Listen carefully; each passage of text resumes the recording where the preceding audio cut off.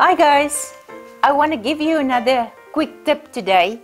I've created this piece a few days ago from paper clay and um, I was absolutely amazed to know how quickly this piece was built.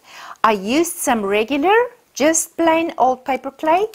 The clay rested for a few days so you can see that on the inside of it it started changing color. The tip that I want to give you today is how to store your paper clay because if it sits for a few days it's going to start looking like this and very soon from now it's going to lose its power.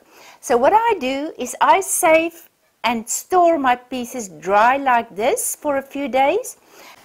I've stored it dry and when I need it I just literally roll it up into a sheet of wet fabric. Oops, and there I'm messing on my floor. A sheet of fabric, in this case I used a towel, and it's going to sit for about an hour. And in an hour's time, it will be ready for me to roll it out, which is exactly what I did when I created this piece.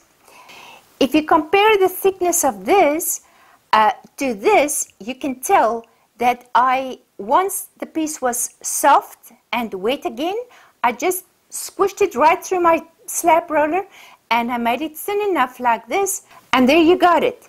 I rolled it out very thin and I created this piece very quickly.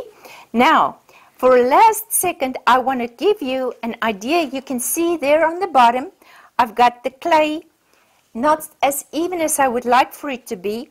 So the simplicity of this is I'm taking a wet piece of clay and I'm just going to add it there.